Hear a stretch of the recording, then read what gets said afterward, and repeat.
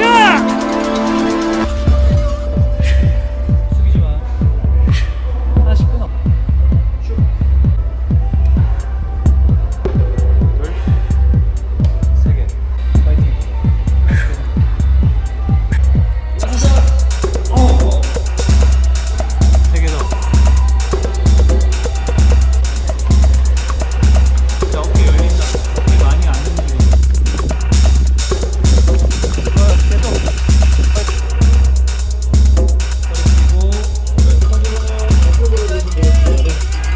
정도로 쓰면